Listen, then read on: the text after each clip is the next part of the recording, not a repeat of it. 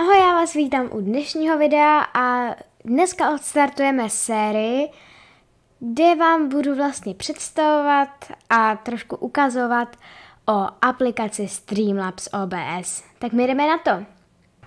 Teď jsme na stránce streamlabs.com, objeví se vám tahle ta stránka, eh, můžete dát takhle Streamlabs OBS, když na to kliknete, tak tady si něco můžete o tom přečíst, něco se dozvíte, budete mít eh, víc informací. Eh, tahle aplikace je i na telefon, takže můžete vlastně jednotlivé okna přendávat, jak to chcete, ale to až někdy příště. Tady se vrhneme rovnou na tuhle stránku, Uh, tohle už je aplikace Streamlabs OBS, tady to vidíte, a uh, můžeme jít klidně hned dolů, kde máte tři okna. Vyrovnáme se hned u prvního, uh, tam budete mít okna jakoby víc jich třeba, co tam chcete mít vidět, jako já mám na streamech, tady mám zrovna zapnutou celou obrazovku na mém prostředním monitoru. V prostředním, v druhém rámečku, je to, co tam chcete mít, já tam mám právě že jen tohle, ale můžete tam mít různé doplňky a tak.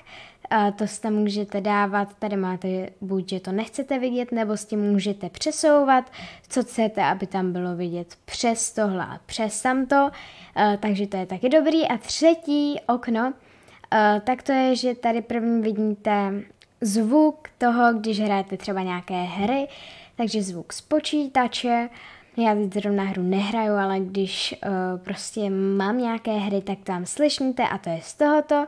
Uh, tady si můžete vypínat a zapínat zvuk, tímto to takhle můžete nastavovat, jak chcete a tady máte taky nastavení, že chcete něco, jak to udělat.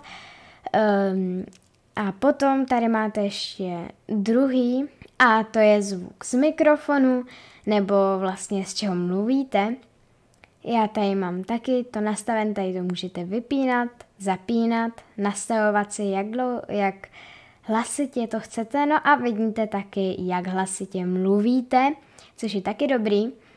A taky můžete si to takhle nastavit, jak to chcete. Když půjdete sem do tohohle okýnka, mm, tak tady třeba můžete dát animované, když chcete animované, napíšete free že to chcete mít zadarmo, no a tady už se vám objeví pár věcí, jak to chcete mít.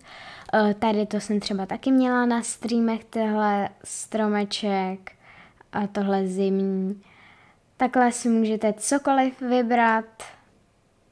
Má tady hodně stránek, prostě jak chcete, tak to můžete mít. My půjdeme teďka na zpátek, tady můžete hejbat s oknem, kde ho chcete mít. Já tady vidím třeba donaty i a tahle aplikace vážně je super. Eh, teď natáčím i to, to, to video. Mm, jo, musím říct, že je to vážně dobrý. Pokud byste chtěli vidět další díly, tak tady v rohu máte infokartu, takže se na ní koukněte. A můžete dát like, odběr, koukněte se na můj kanál a u dalšího videa nebo streamu zatím čau čau.